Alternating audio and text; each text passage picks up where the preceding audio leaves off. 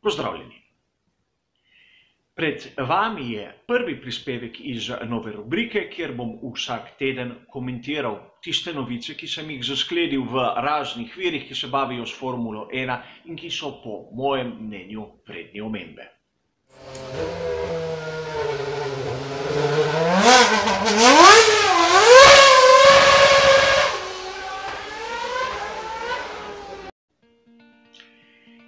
Danes se bom lotil treh različnih tem, katere se mi zdijo še posebej zanimive. A če se bo kdo hotel prepričati, kaj je pisalo v originalnih verih, dobi vse bližnjice do tistih člankov, ki jih navajam, seveda v opisu. A začnimo kar s prvo temo.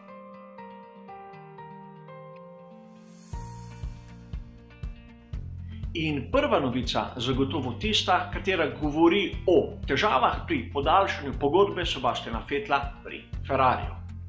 Vir, kateri se mi je zdel tisti najbolj primaren, je članek v Essentially Sports 21.4.2020. Stvar gre nekako takole: Sebastian Vettel si je želel večletne pogodbe in seveda Ferrari mu je ponudil samo enoletno podaljšanje. Sebastian Vettel dobi sedaj tam okrog 40 milijonov evrov uh, na sezono in seveda Ferrari mu je ponudil nekaj takega kot uh, Charlesu Leclercu, okrog 12 milijonov. In uh, navaja se članek v gazeti Delo Sport, kjer uh, vidimo, da pač tam je intervju s Sebastianom Fetlom, kateri navaja, da, si, da je do sedaj uh, podpisal samo tri letne pogodbe in da z enoletno se ne bo strinjal, a o tem, da je bil kak spor med Ferrarijem in Fetlom, oziroma da je eksplicitno zavrnil kako ponudbo, ni ne duha, ne sluha. In tudi članek tega ne navaja. Samo tako malce okoli zopet navaja neke obveščene vire, katere ne bi to trdili. A seveda, razumela se je debata o tem, kdo bi lahko zamenjal Sebastiana Fetla pri Ferrariju. Prvo ime, katero se je pojavilo, Daniel Ricciardo. A prva točka je ta, da 20. aprila vidimo članek, kjer Daniel Ricciardo sam pove, da vrnitev v Red Bull ni izključena. Z vsemi pripombami, ki jih lahko imamo tu. In druga točka, katera mislim, da je tudi zanimiva. Vemo točno, da Daniel Ricciardo zasluži več kot 12 milijonov evrov pri Renaultu. Bo pripravljen sprejeti tisti dar, denar, ki so ga ponudili Sebastianu Fetlu, in če je ta ponudba bila pravilna, bodo Danielu Ricciardu ponudili več, kot so ponudili Sebastianu Fetlu, ne vem, smo zopet v svetu govoric. In tretja točka, tista, ki se mi zdi še najbolj zanimiva.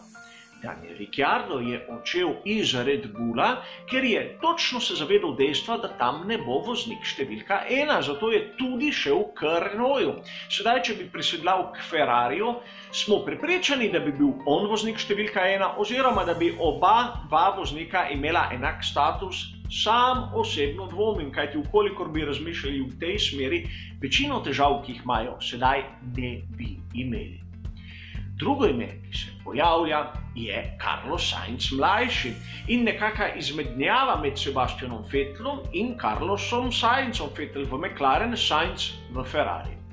A še februarja, preden se je začela uh, vsa, um, bom rekel, aktivnost okrog sezone 2020, smo slišali v, bom rekel, dokaj, dokaj dobrem viru, da se McLaren pogaja s Saincem, kako bodo podaljšali pogodbo, da so z njim izjemno zadovoljni.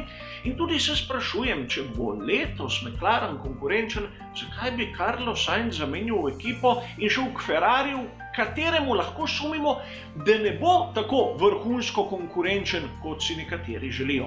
A mislim, da Sainz in Fettel sta edina dva, ki vesta v tej zgodbi, kako dober je njihov bolit, a za zamenjavo ne vesta oba, ki je sta. In seveda tu imamo še Antonija Giovinazija, kateri se pojavlja v mnogih kombinacijah, ampak bodimo realni. Mislimo, da Ferrari z dvojcem Leclerc, Giovinazzi bi bil sposoben osvojiti naslov svetovnega prvaka med konstruktorji, ne vem niti, če med vozniki. A pojdimo še korak naprej. 22. aprila se v zgodbo vključi Fernando Alonso, vsaj tako navajajo nekateri viri, ki ga vidijo kot enega izmed pretendentov na izpraznjen sedež Sebastiana Fetla. Mislim, eh, da se je tračarija v svetu Formule 1 ravznela na polno in mislim, da je bolje malce počakati, preden razpisovati eh, nagrado na glavo Sebastiana Fetla in kdo ga bo zamenjal.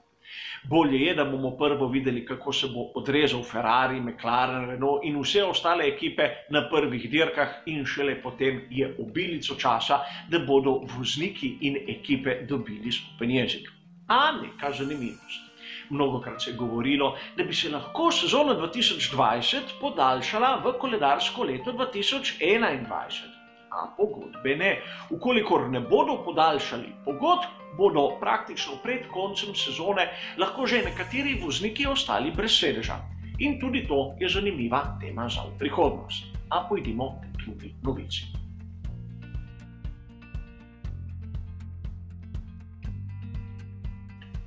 Druga novica, katera ni imela toliko dneva, a se mi zdi izjemno zanimiva, je tista, ki sem jo videl 21.4. na portalu Planet F1. Gre za povzetek izjav Žanatoda, kjer trdi, da je FIA sposobna nadzirati ekipe Formule 1, govorimo v tehničnem smislu, in zopet se vračamo na to afero Ferrari. FIA, tisti, eh, bom rekel, eh, dogovor med njimi od molčečnosti in tako naprej. A to moramo gledati, po mojem osebnem mnenju, v luči tistega, kar so povedali 19. aprila 2020 pri Mercedesu, kjer so izjavili, kako si uh, konkurenca obupano želi dokazati, da sistem DAS ni legalen. Tu je treba povedati, da v tistem novem pravilniku za sezono 2021 sistem DAS je prepovedan. Za sezono 2020 ne vemo še, kaj ti ni bilo protesta, ni bilo še pravega tehničnega pregleda bolidov. A vidi se tukaj nek notranji politični boj, kaj se bo pravzaprav zgodilo na prvem tehničnem pregledu pred prvo dirko. In še zanimivost v tem članku 19. aprila. Odgovorni od Mercedesa povedali, povejo, da na tej ideji delajo že od leta 2018, a rezultati, katere so dobili, jih niso prepričali že takrat, da je ta stvar učinkovita.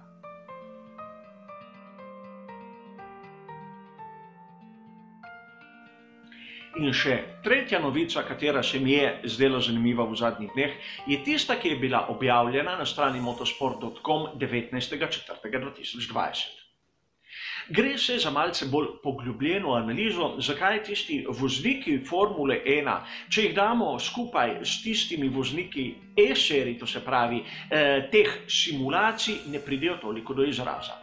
Zakaj tisti profesionalni igralci igric so toliko boljši od pravih voznikov Formule 1?